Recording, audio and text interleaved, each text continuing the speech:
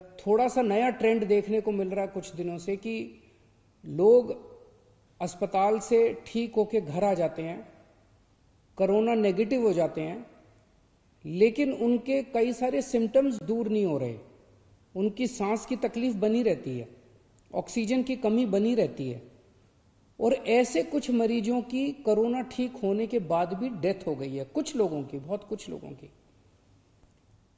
हमारे health minister ही अगर हम देख लें सत्येंद्र जैन साहब, हालाँकि वो ठीक होके घर आ गए थे, लेकिन घर आने के बाद भी उनको लग, काफ़ी दिन लग गए पूरी तरह से ठीक होने में। तो सरकार ने ये निर्णय लिया है कि जो जो लोग अस्पताल से ठीक होके घर आ जाते हैं, उनको अगर सिम्टम्स हैं और ज़रूरत है डॉक्टर कहते हैं तो उनको ऑक्सीमीटर घर पे कुछ दिन के लिए और दे देंगे।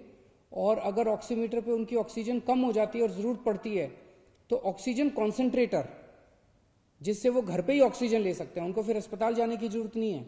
उनके लिए घर पे ही ऑक्सीजन का इंतज़ाम सरकार फ्री में कर देगी, ताकि उनको दोबारा घर पे, वहाँ जाने की ज़रूरत ना पड़े।